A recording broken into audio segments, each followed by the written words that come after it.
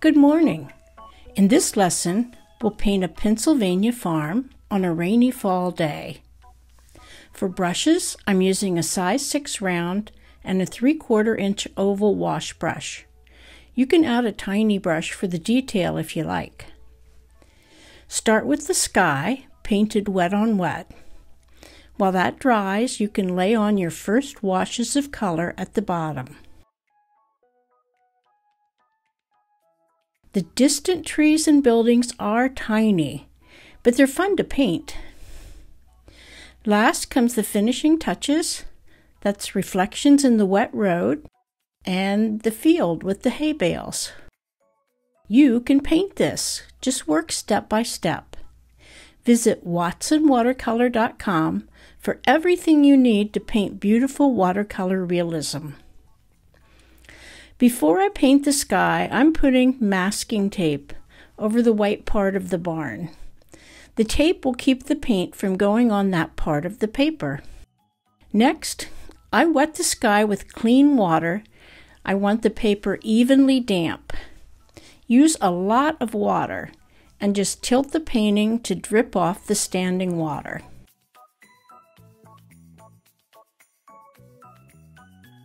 While that soaks in, mix up a big puddle of sky blue.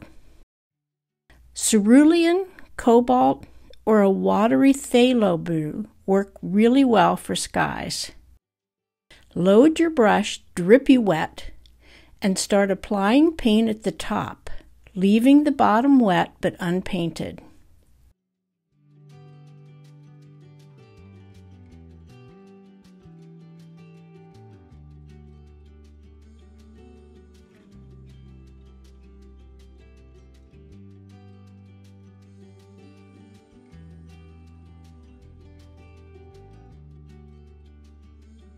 Then mix a darker version of that color and add some to the top. You're going to get the smoothest sky if you let the water do the work. Tilt the paper to smooth out the brushstrokes or areas you don't like.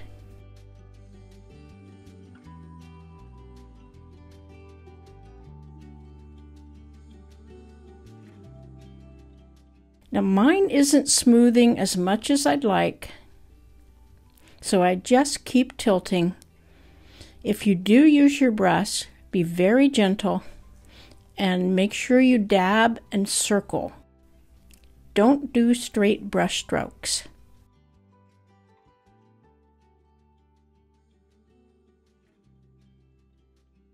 While the sky dries, mix a little burnt sienna into some of your blue and make a gray for the road. The road is very light in color and value, so add more water if you need to lighten it. You want the road lighter at the top and darker at the bottom. You can achieve this by dabbing off some paint at the top and or adding more paint to the bottom.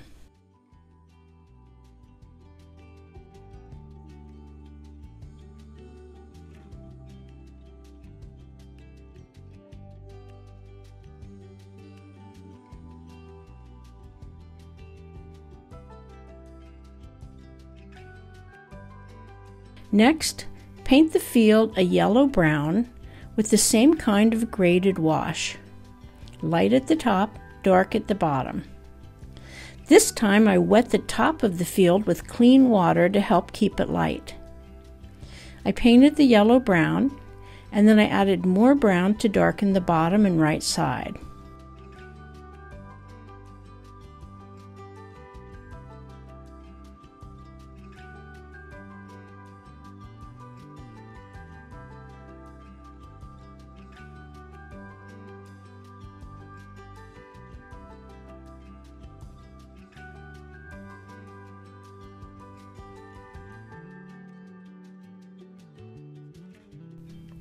You can also add a touch of your blue to darken the brown even more.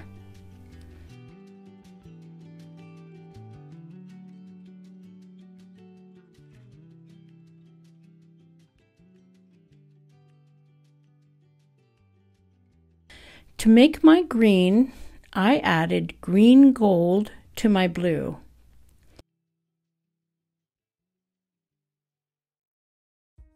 This is just green gold for the lighter bit. Start with the green gold color and then switch to green for the graded wash.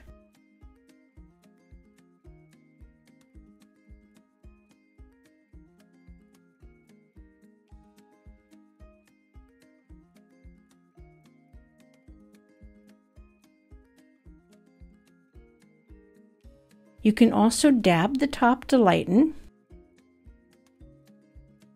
I know getting a smooth graded wash takes some work, but it's really worth it for the effect you get in a landscape.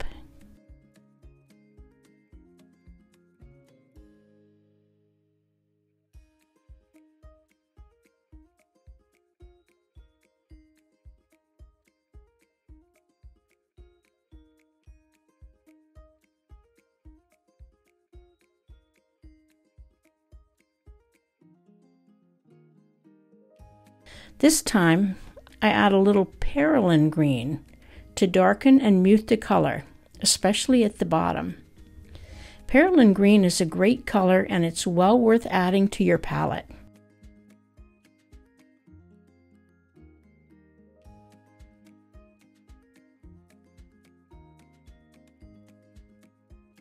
While I have a little green left, paint the right side tree behind the barn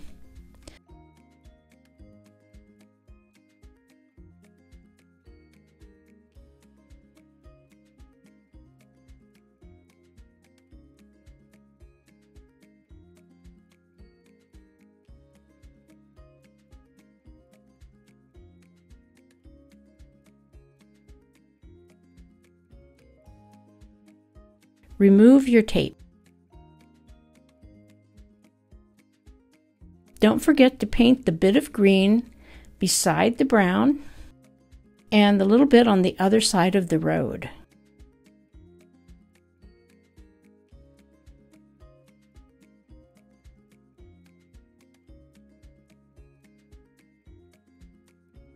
For the barn roof, mix cobalt blue and burnt sienna for a blue-gray. Paint the barn lighter on the left to darker on the right.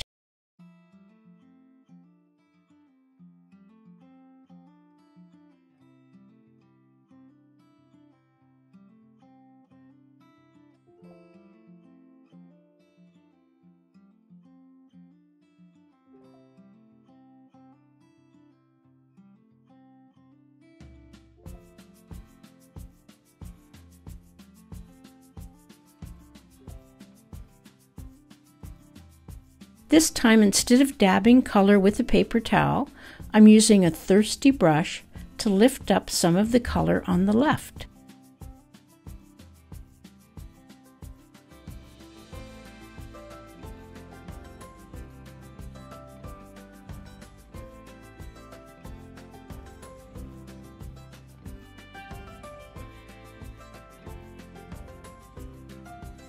Also paint the stone foundation at the bottom and then dry well.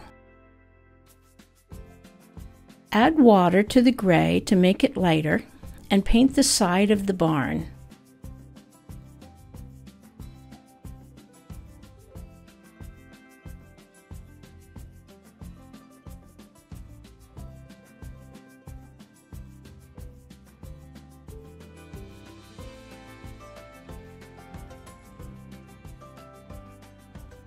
While the wash there is still wet, take your damp brush and do lines. That gives you the suggestions of boards. Working in a damp wash is quite a nice effect, quick and easy, so practice this on scrap paper until you learn it. Last, add a shadow under the eave. The next step is the background trees and buildings. If you aren't good at detail, just do a distant hill or mountain.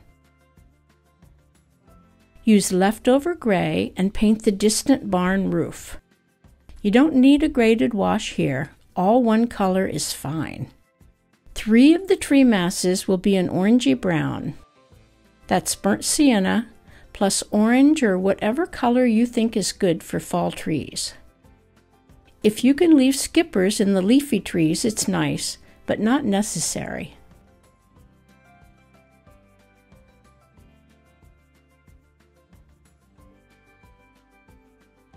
The second brown mass goes beside the distant farmhouse, and the third is on the bare tree in the front of the barn. To suggest leaves on a bare tree, use the side of your brush with very little paint. Dry brush on a little color. We'll add a darker value after this layer dries.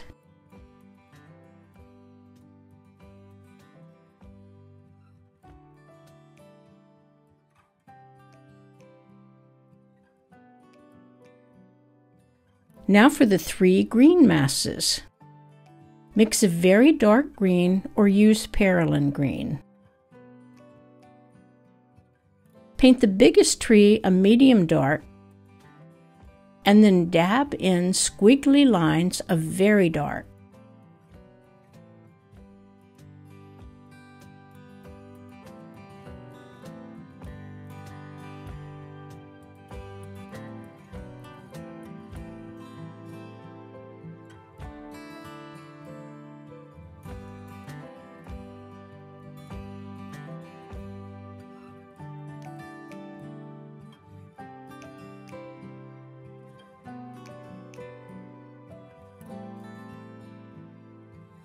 For the rest of this spot, just vary the light and dark a little.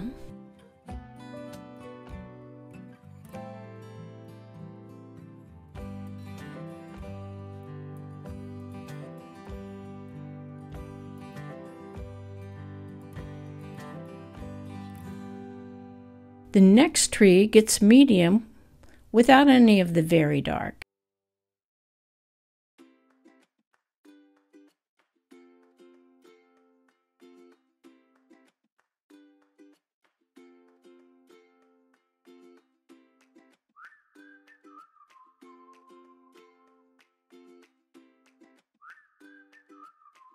Then switch to the other side.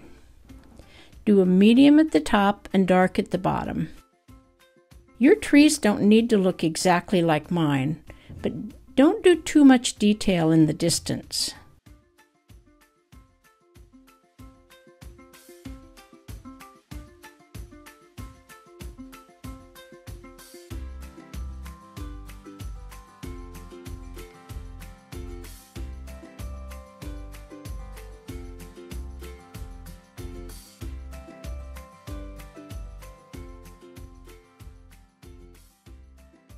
The last tree is the farthest away, so make it lighter and bluer. I'm painting around a tiny road sign just because I love details like that.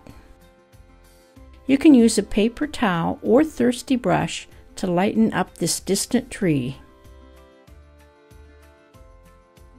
When the trees are dry, add a tiny red building for an accent.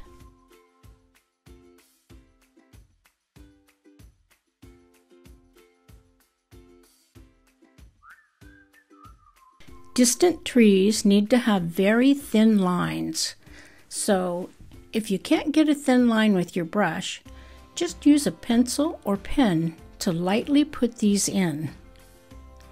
Don't draw each trunk from the bottom to the top. You want variety. Start some farther up or skip areas for more interest. At the top, dab with your finger to smudge the edges.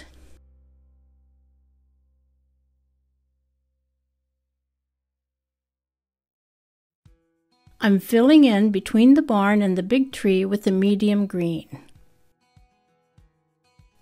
Now it's time to evaluate this middle area. You can decide if you want any bits darker or lighter.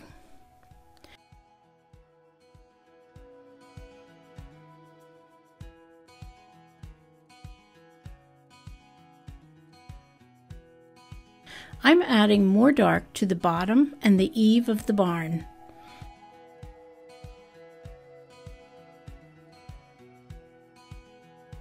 And I'm painting the sign yellow.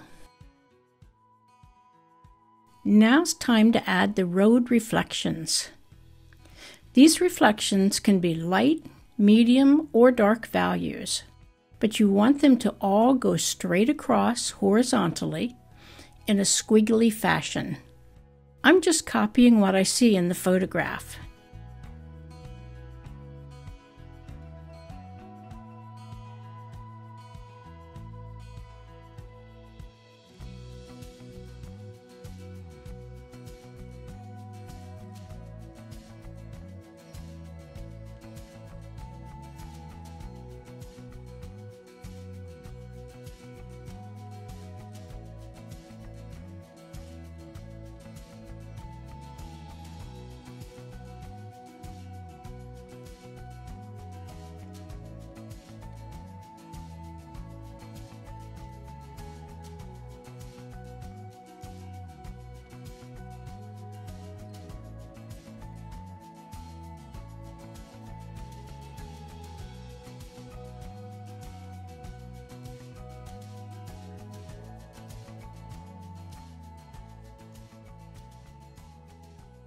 Also, the center line is yellow and the line on the right is white.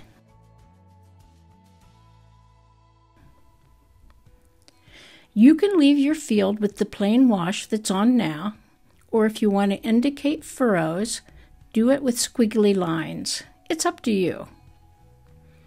I wet the top to keep it light and start with light furrows. Build up your colors, light to dark, until you're happy with it.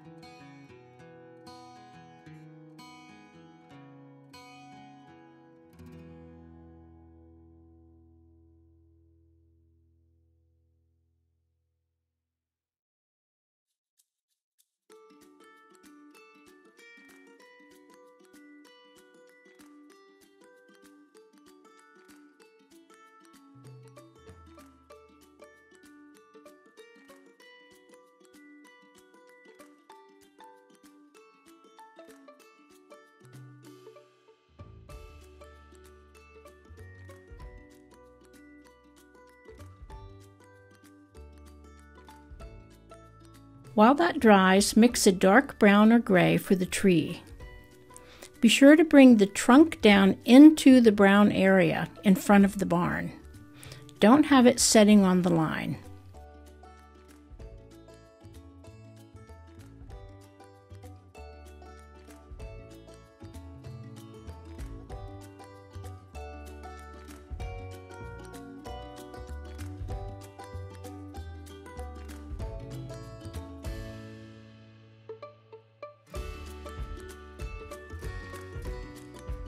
When the field is dry, add three darker hay bales.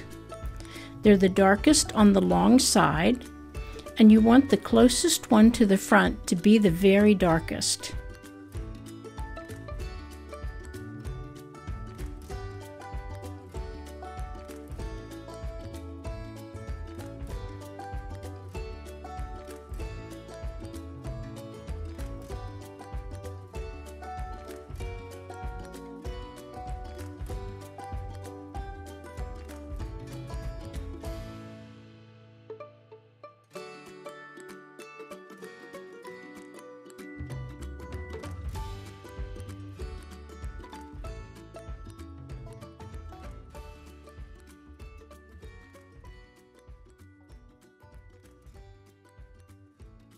That dark color is perfect to spice up the tree also. Oops, almost forgot the telephone poles. Once again, use a pen or pencil if you can't get thin lines. And use a pencil to lightly suggest the wire. Well, that's about it. Remember, your paintings don't have to look like mine to be good. Every artist is different. Please give me a thumbs up if you like these videos. It really helps my channel. And happy painting!